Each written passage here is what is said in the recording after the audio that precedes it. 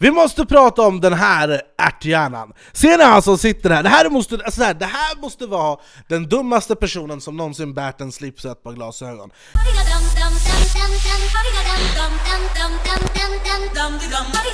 Yo, mitt namn är Anders Don Mina. Varmt välkomna ska ni vara tillbaka till en ny v v v video Shorda. Hej mina damer och herrar! Kolla nu, jag har övat på att spela munspel. Lyssna hur vackert det blir med lite bakgrundsmusik.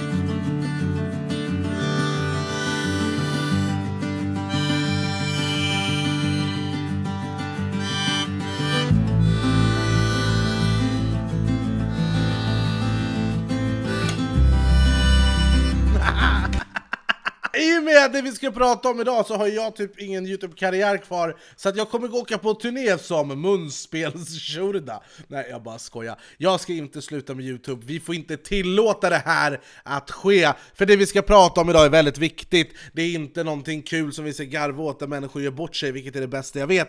Utan det är någonting seriöst, det är någonting viktigt och någonting jag har pratat med väldigt viktiga människor om Som sitter i högt uppsatta på ställen där folk har saker att säga till om. Kort och gott så jag vet nu att det här är faktiskt på riktigt, inget skämt. Men innan vi gör det så vill jag först och främst tacka för all fin support på min senaste låt Sucker for Love som finns på Spotify. Om du inte har hört den så kommer jag länka den högst upp i beskrivningen. Det är bara att gå in på Spotify, tryck spara, jag blir jätteglad. Och eh, kan vi få 5000 likes även på den här videon? Ni totalt demolerade det på den förra videon, vi fick det typ 9000 eller 7000 eller något. Men om det är så att du har strumpor på dig, om det är så att du är barfota, om det är så att du har en, strump, en fot med strumpa på, en fot som är barfota, eller om du har två skor på dig men ena skon är trasig, Kort och gott, vad du än har på fötterna, om du kan trycka like på den här videon så skulle jag bli väldigt, väldigt glad. Och i det här fallet är det faktiskt viktigt för att det gör att videon blir mer rekommenderad så mer människor får se den, vilket är viktigt. Vi ska prata om någonting som är väldigt seriöst, som drabbar dig, som drabbar mig, som drabbar väldigt mycket människor eh, runt om oss som vi älskar. Vad är artikel 13, artikel 11, länkskatt? Allt det här är ord som jag brukar ta avstånd ifrån, för att det låter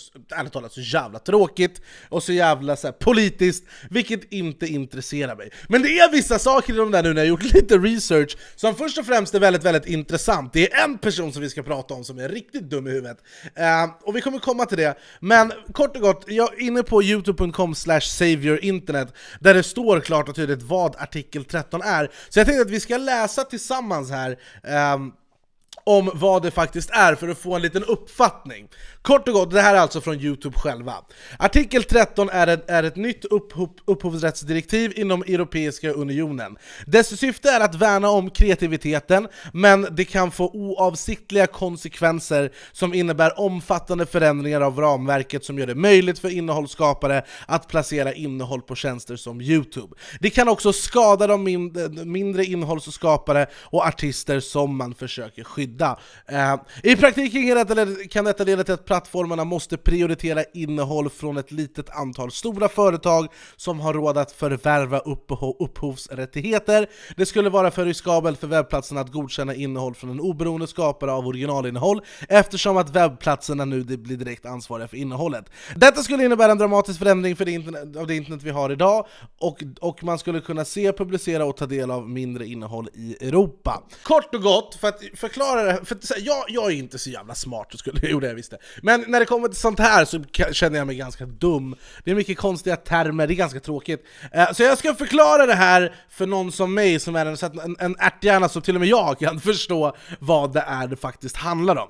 Kort och gott, när jag laddar upp en video och jag reagerar säger vi på någonting som jag, på innehåll som jag inte äger så, så begår ju jag någonstans ett fel. Nu är det så att ofta så har jag liksom godkännande av de som äger innehållen från det jag reagerar på. Men säg den videon som jag gjorde med Antonia Mandir, där vi reagerade på så här, proposals gone wrong, alltså folk som friade till varandra där det gick åt helvete.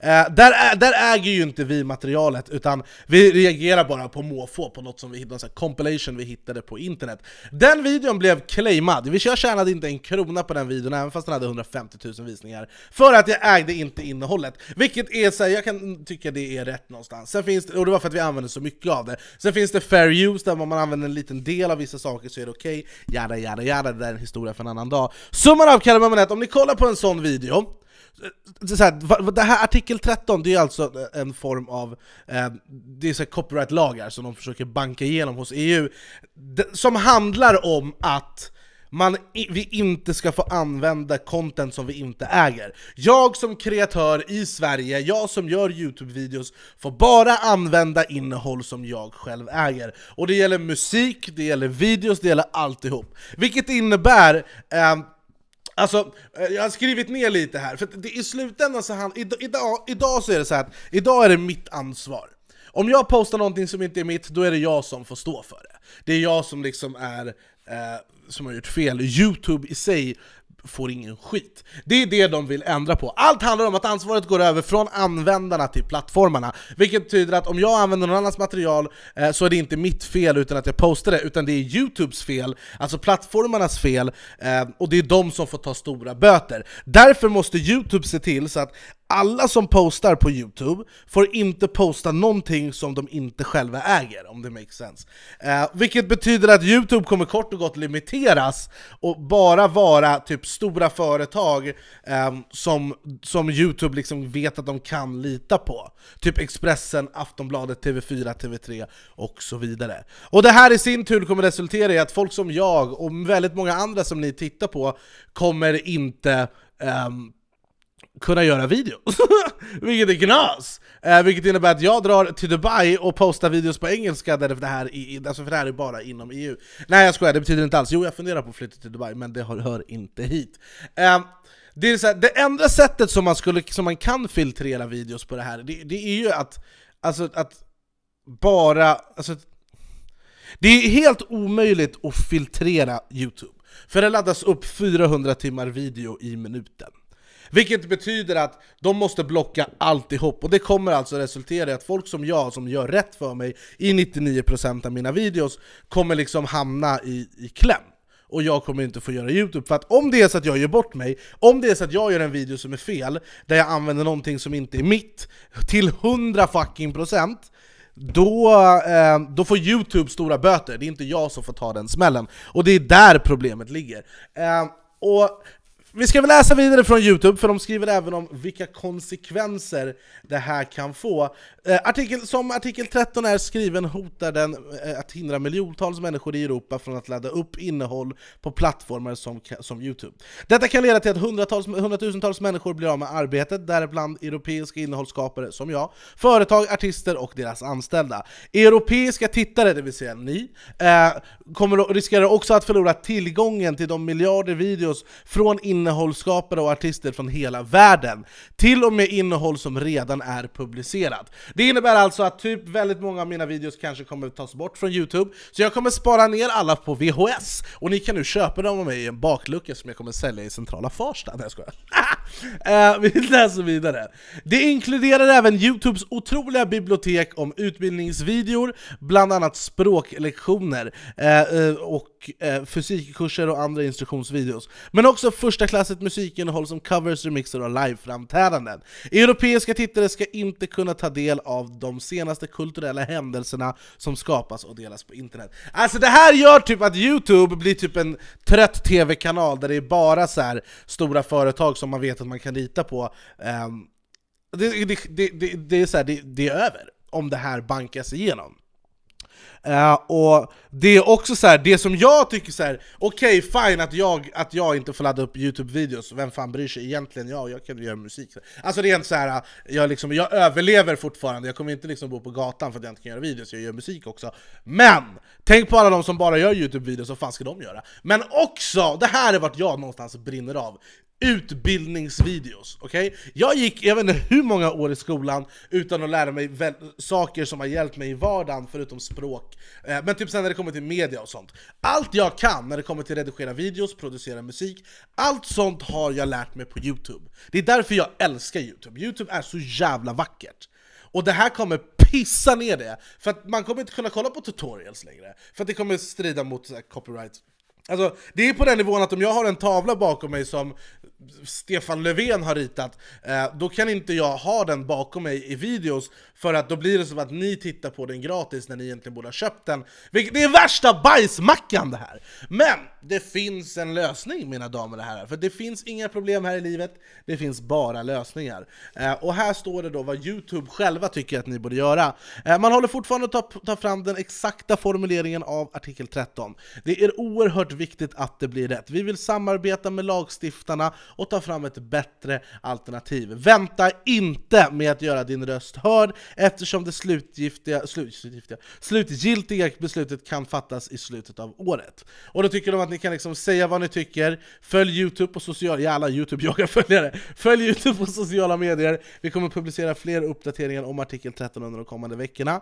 Berätta för politikerna om vad du tycker om artikel 13. Det här är så jävla tråkigt, men det är så jävla viktigt, och ibland så är inte allting kul tyvärr. Sen har vi även något som heter artikel 11, som är alltså länkskatt. Länkskatt, det är alltså när någon delar... Säg att du är inne på Facebook och någon har delat en länk eh, från Aftonbladet där det står Anis Don Demina utsätts till Sveriges vackraste man. Eh, då ser ni ju typ en rubrik, en bild och sen lite av texten och så okej okay, men det här vill jag klicka in på.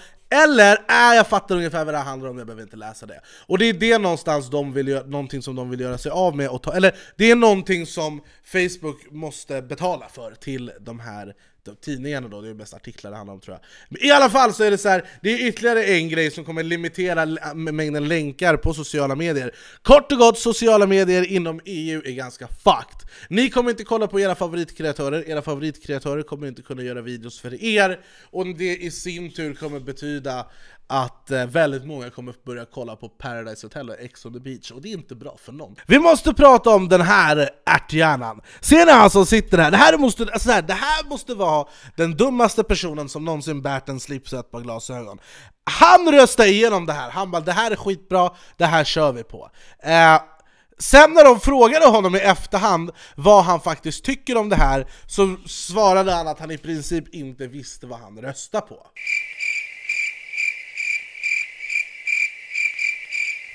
Jag bara, så här, en kort fråga. Vem fan har gett dig jobb? Va? Hur tänkte du där? Det här är något som påverkar mitt levebröd, väldigt många annars levebröd, och hur fan ska jag annars kunna köpa kepsar från Balenciaga? Det är såhär, du sitter där med dina tummar upp i röven och bara såhär whoop whoop, men du har ingen aning om varför din dumma jävel. Fan jag blir lite förbannad. Jag hatar när människor har väldigt viktiga roller och inte vet hur de utför dem. eh, och ja, det här är, det här är, det här är idiotiskt. Och jag, tycker, jag personligen tycker borde sätta stopp för det här, det här är väldigt viktigt. När någon sa till mig att ah, den här EU-lagen kommer pippa Youtube, Då tänkte jag automatiskt Pippa Youtube, är du sjuk eller? Ska de verkligen, tror ni på riktigt att de kommer kunna blocka mig? För det här blockar även memes. Det innebär att de här memes, när ni taggar varandra på Instagram med memes, hela den grejen kommer också försvinna, för det är copyright content. Kort och gott så tänkte jag så här, som om Alltså det, det, här kommer starta ett tredje världskrig. Du kommer ha P12 som kommer stå utanför parlamentet och kasta tomater. Det, alltså det, är så här, det, här, det, var, det var så jag tänkte, jag bara, som om de kommer kunna stoppa Youtube, som är en av de största hemsidorna i hela världen, eh, där folk lär sig, det är en sån positiv grej. Som om de kommer kunna stoppa det, så jag garvade bara, aha, jag bara aha, nice, jo, tjena. Eh, men det är på allvar, det här kommer kunna fucka väldigt många.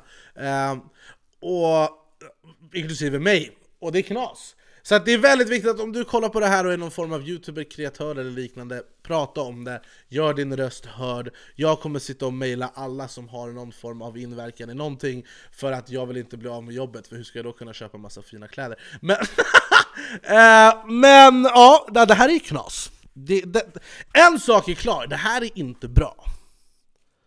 Det här är verkligen inte bra. Och frågan är, är det här slutet på Youtube? Ska man åka tillbaka till Dubai och sälja kameler kanske? Det kanske är bättre business. Eh, jag vill veta vad ni tycker om det här, jag vill att ni kommenterar, jag vill att ni delar, jag vill att ni pratar med folk. Jag kommer länka lite länkar i beskrivningen till andra youtubers, såsom Verseboy och Vivala Julian, alla Dakhri, alla Blancolon som också har pratat om det här eh, och har gjort väldigt bra videos om det här. Så jag vill att ni går och kollar i beskrivningen och eh, Eh, kolla in deras videos också, för det här är väldigt, väldigt, väldigt viktigt. Um, och det är där vi kommer avrunda dagens video, det kommer en ny video imorgon för vi laddar upp varje dag på den här kanalen. Jag vill tacka för all kärlek, tacka för all support, vi fortsätter gasa, förhoppningsvis så kan vi, eh, vem vet, vi kanske når 200k innan Youtube lägger ner i princip. Eh, jag kommer länka andra videos i beskrivningen som också pratar om det här, det här är väldigt, väldigt viktigt. Tack för all kärlek, tack för all support, och vi ses när vi ses, motherfuckers! Hej hej! Everybody